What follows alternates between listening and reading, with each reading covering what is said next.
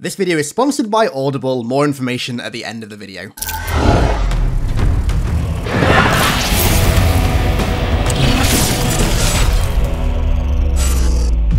Hey guys, welcome back. Yep, that, that title is correct. You did not read me wrong. I did not pull a Rick Astley on you guys. We need to talk about it. We really do. There are going to be no spoilers in this video, so don't worry about me spoiling anything for you. You should be able to watch this video just fine where do we begin? Um, well, firstly, actually, all I can talk about is the first four hours of the game. Uh, I can't talk about anything else after that. Uh, so just, I'll get that disclaimer out the way. but uh, let me just, let me tell you guys, um, it's fucking good. it's good. It's really, really good. It feels so quintessentially Halo in almost every way, despite elements of it being totally new and totally different to any Halo experience yet. It feels so quintessentially Halo. And I'm so I'm so happy about that because there was obviously a slight concern with the game being a bit different and its like structure that it was gonna feel no no no no. It feels very Halo, my friends. Very Halo. Um the open world is so, so unbelievably good. I'm genuinely surprised. I was looking forward to it, but I I did not expect to love it as much as I did. There was maybe the odd time where I found the encounters got a little bit repetitive and stale, but broadly speaking, it was so good. I mean, one of my favorite things about the open world was the fact that it felt so lived in. Like, for example, one of the first things I did was grapple to the top of this really tall cliff at the side of me, and firstly I was like, there's no way they'll let me get to the top of this. And then I was like, well, if they do let me get to the top of it, it's probably just going to be like an empty little bit of rock and that'll be it. I get to the top of that cliff, right? Not only can I stand up there and chill out, chill about up there, there's also a bloody jackal sniper wandering about and a grunt mule just wandering through the environment so naturally. There's a jackal sniper just vibing. There's a jackal just. Oh, dude, dude, dude, dude, dude it, it, genuinely feels like a world that is lived in as opposed to like one big curated play space that has been specifically designed for an enemy here and an enemy there and an enemy there. It feels like a true natural environment. There are other things that I won't get to that are in the environment as well that just add to that. It's a really natural feeling world. Yeah, the map is uh, is really really good. I think you guys are gonna love it. Banished kill hero for good. Right, so one of the things we need to talk about is the exploration of the map itself, the way that you explore it, because I'm right. I'm gonna be honest, it didn't really live up to my expectations. Um, reason being, it completely exceeded them. Uh, the traversal of the environment feels like Halo 2 on steroids. That level of freedom that you get in Halo 2 on Delta Halo or Outskirts when you just freely walk outside the map and explore the vistas of Delta Halo or of New Mombasa or whatever. It feels like that. There are no barriers pretty much anywhere. I had to really, really go out of my way to even find like a return to battlefield barrier, let alone a hard barrier or a soft barrier. They seem almost non-existent. I think I found two hard barriers that was it. The, the freedom in this game, I, I don't think you guys are ready for it because it genuinely took me back when I when I was just walking around the Zeta Halo by myself, grappling up cliff sides, exploring them, exploring mountain ranges, exploring valleys and ravines. It feels just perfect. It I could not have asked for it to be any better than it, than it actually is. You guys are, you, yeah, you're gonna love it. You're gonna love it. And as for exploration, there are caves as well, and I won't say too much about them, but uh, they're very cool, and they're even cooler given the fact that you have a flashlight again. The flashlight is officially back, and there are some times where it really, really adds to the atmosphere. Uh, big fan of that. So one of the big features of the open world is the FOBs or FOBs, the forward operating bases that you have to recapture. And uh, with the way they talked about them pre-release, it seemed like they were kind of necessary. I'm pretty sure they are totally optional. You don't have to do a single one of them. You can just do the main campaign and that's fine. You don't have to touch them. I would recommend touching them because they're pretty fun, but what it does is it allows the game to be played in three very distinct ways, right? You can play the game as like an open world exploration, rally the troops kind of experience. You can play it as a mostly traditional level-based Halo game, or you can do what I did and play it as a combination of the two put together, which I think is the best way to do it. It really does allow for very dynamic ways of playing the game. uh, and it's a very fun experience. One of the things they talked about a lot pre-release that I'm gonna be honest sounded like a bit of marketing smoke and mirrors to me was the different ways that you could attack enemy bases. Like you could go in like head on with like a chopper or something going through the front door, or you could sneak around the back, or you could take them out from a distance. That sounded really like smoke and mirrors to me pre-release. I'm not gonna lie, it sounded like very like marketing talk. But nope, it's, it genuinely isn't. I was, again, legitimately amazed by the amount of ways that you could attack bases and outposts and stuff.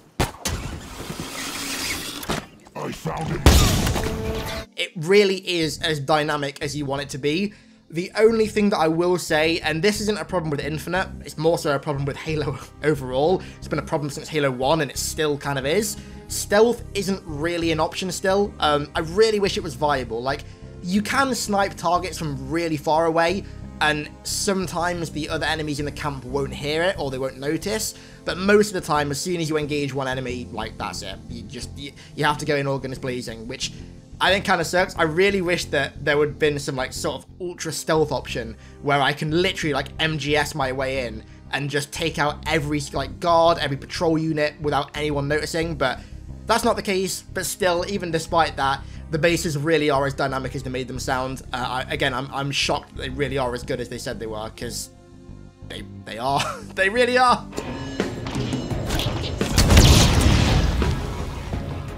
I think if I had to describe Halo Infinite's open world and kind of structure in a nutshell, I would say that it feels like the second level of Halo 1, Halo, mixed with MGS5 and Shadow of Mordor, but also with your traditional Halo levels thrown in as well. For the most part, it really is the best of both of those kind of genres of games. I think it is a really good combination. I was really surprised how well Halo's gameplay actually suited this kind of game. I don't know why it was a surprise, given that Halo and the Silent Cartographer are like two of the best video game missions in the history of humanity, right? But just actually playing it like this really cemented to me how well Halo's gameplay is suited for stuff like this. And almost like it kind of made me realize that Halo's gameplay being locked to like super linear levels in the past has been a bit of a waste. Like there's so much more that could have been done with it and it's good to see that finally happening. Obviously, not going to talk about the story much in this video, but some things I will say is that the story is really, really mysterious. Um, cutscenes are fantastic, not going to show any, but they are. They're bueno, guys. They're very bueno. Jen Taylor's performance in this game is the single best video game voice acting performance I've ever seen in my entire life. And I've played a lot of games with really, really, really good voice acting. If Jen doesn't win an award for this, then there is no God. I, I honestly don't know how she can't win an award for this game. I'm tempted right now to book a flight to LA and go and pay the bloody Oscar commissioner whoever it is that gives out Oscars to play this game and tell me that she does not deserve an Oscar for this, even though they don't do Oscar video game awards. She deserves genuinely as many awards as, as is possible for this. She was fantastic in every game, Halo 4 in particular, but this is a step above the rest. I think you guys are going to realize when you play it what I mean. It's just like standing ovation levels of good. Genuinely, I'm not saying that because I'm biased towards Halo. Genuinely standing ovation levels of good. They smell even worse than I imagined. You can smell them. Well, an array of sensors in your armor can, and I analyze the input. You smell fine, by the way. On the topic of voice acting as well, uh, the audio logs actually really surprised me. I didn't like them in Halo 5, and when they said they were doing them again in Infinite, I was a bit like, eh, like it's not that interesting, but they were really good. I was genuinely really surprised. I think people are going to love them. Uh, the boss fights and their theming, oh my god, oh my god, incredible. Absolutely so good, so, so good. There are things that I would I'd hoped that they were gonna do with the bosses in this game and the theming of them and like the whole like build up to them that I was really hoping they would do, but I was like, nah, don't be too outlandish, like don't get your hopes up too much. I'm kind of happy that I did because they really, really lived up to my expectations. However, with all of that said, uh, it, it, wasn't perfect. I do have some issues with it. Uh, first one being the weapon sandbox. I felt it was far too small and limited. Uh, Infinite going for like a kind of trimmed down weapon sandbox might seem good on paper, but I'm not a huge fan of it in multiplayer, and I'm even less of a fan of it in the campaign. There, just doesn't feel like there's that much variety there compared to a game like Halo 3, for example. Like, where, yeah, not every weapon is super, super useful, but there's variety there. There's cool stuff to mix and match, and I really just didn't feel like that was the case at all for Infinite. Uh, and then, kind of an extension of that, I think Infinite's HUD that I already don't like, it was even worse in campaign, um, to the point where it was genuinely interfering with my gameplay, uh, which is the complete polar opposite of what HUD is supposed to do, right? A HUD is supposed to be easily laid out, so when you're in the heat of battle, you can very easily and quickly access the piece of information you want. You want grenades? Top left. Ammo? Top right. Equipment? Top left, no needs. Motion sensor? Bottom left, etc., right? That's not the case in Infinite, and I found myself in in gameplay, in the middle of like a fight, throwing the wrong grenade or using the wrong equipment and dying because of it, because the HUD just doesn't give me the information that I need as quickly and efficiently as all of the HUDs from Halo 1 to Halo 5 did. I really think that 343 need to add a classic HUD option in this game because this HUD doesn't cut it. There are times in the gameplay where I wanted to, for example, throw a spike grenade, but I couldn't access the information quick enough to see which grenade I had active. So I'd just throw all my grenades until eventually I got to a spike grenade, and it's just, it's not great. I found myself genuinely dying in gameplay because of it so many times, and a classic HUD option would make that so much better. On the topic of equipment, or rather, equipment, I'm gonna be honest, it didn't feel like equipment in the campaign, it felt like abilities. However, this might surprise you, but I actually didn't mind that. In fact, I rather kind of kind of liked it. I think the idea of spawning a player in Halo with the entire powerful sandbox inside of them instead of on the map to go and find is just so counterintuitive to Halo's formula. But here, with how open and dynamic the encounters are in the world, I actually think it kind of worked. Like, for example, if I'm assaulting a base, I feel like if I had to go and kill a brute to go and pick up a grapple hook, instead of just having it in my back pocket, it would really limit the dynamicness of the encounters. So I actually think that that works here.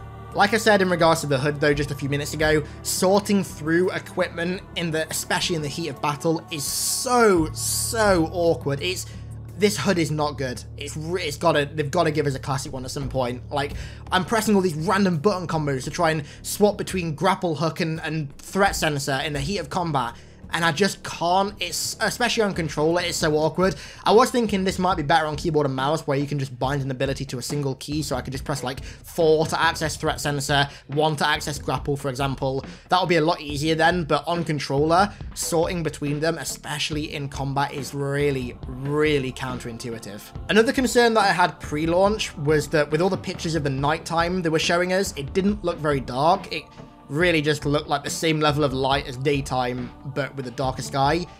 And that is the case in game. It was nowhere near as dark as I wanted it to be. Like, I wanted it to be full-on horror game, pitch black dark levels of darkness where I had to rely on my flashlight or on the lights of the armor of the Banished to spot them. That's sadly not the case. Uh, I will say, don't get me wrong, nighttime is beautiful. It's so aesthetic. I just wish it was darker but the different encounters at night are very cool. But yeah, uh, that's that's all I'm going to talk about for now. Um, I'm so happy. I cannot wait. Tomorrow I'm uploading my reaction to the first bit of the game.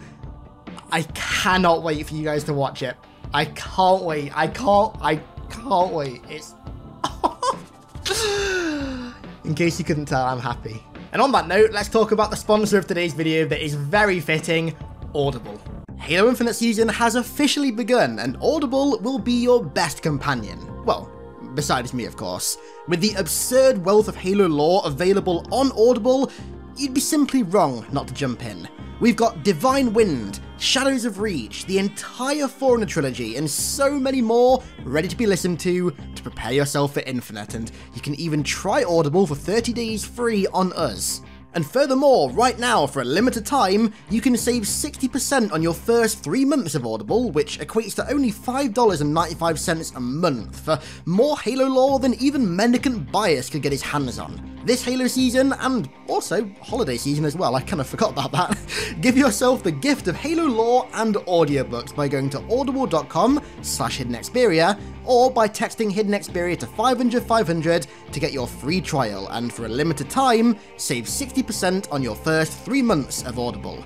Once again, that's audible.com slash hidden Xperia or text hidden Xperia to 500 500 to dive into Halo's lore today. So that's all I'm going to talk about for now. I'm going to have tons of content coming out in the next few days. If you guys have any content you want me to make or you have any questions about the game, I might even do like an infinite campaign Q&A video. So if you have any questions about the game, ask them down below and I might answer them in that video. But yeah, make sure you hit that bell. Make sure you check out Audible, the one and only iconic sponsor. And yeah, thank you all so much for watching. I want to give a massive shout out to Superfish7 and Pep Demora for becoming new iconic ones over on Patreon. Thank you very much, my friends. I appreciate that greatly.